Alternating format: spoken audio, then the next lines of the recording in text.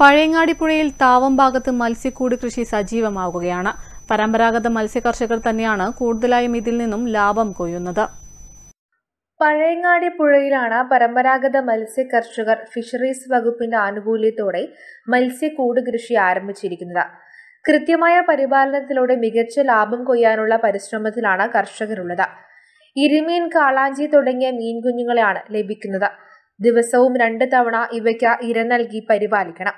G I pipe ഉപയോഗിച്ച് ചതുരാകൃതിയിൽ frame ഉണ്ടാക്കി അതിനകത്ത് മത്സ്യങ്ങളെ വളർത്തുന്നതിനായി നെറ്റ് സംവിധാനം ഒരുക്കുന്നു. മീൻ വളർത്തുന്നതിനായി ചതുരാകൃതിയിൽ ഉണ്ടാക്കിയ കൂടുകൾ പുഴയിലും മറ്റും ഇറക്കി മത്സ്യക്കുഞ്ഞുങ്ങളെ വളർത്തുന്ന രീതിയാണിത്. ഒരു വർഷം കൊണ്ട് വിളവെടുക്കാനാവും. മത്സ്യക്കൂട് കൃഷി ഏറെ പ്രതീക്ഷ തരുന്നുണ്ടെന്ന് പരമ്പരാഗത മത്സ്യകർഷകനായ കണ്ടൽ രാജൻ പറയുന്നു.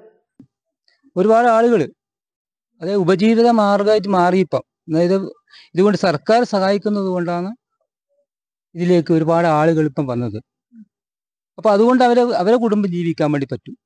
അപ്പോൾ ഒരുപാട് നമ്മൾ പൈസ ചെലവഴിക്കണം. എന്നാലും ഒരു ചെറിയൊരു പൈസ നമുക്ക് ലാഭം കിട്ടും. അപ്പോൾ നമ്മൾ ബാക്കിയുള്ള പൈസ നമ്മുടെ സർക്കാർ നമ്മളെ സഹായിക്കുന്നുണ്ട്.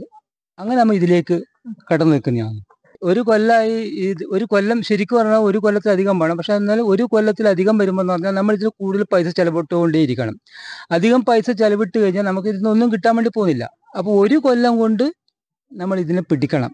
എന്നെങ്കിൽ മാത്രമേ നമുക്ക് എന്തെങ്കിലും കിട്ടുമല്ലോ മത്സ്യങ്ങൾക്ക് ഏറ്റവും കുറഞ്ഞ തീറ്റ കൊടുത്ത് കൂടുതൽ ഉൽപാദനം ഈ രീതിയിലൂടെ നേടാം എന്നതാണ് കൂട് മത്സ്യകൃഷിയുടെ ഏറ്റവും വലിയ പ്രത്യേകത.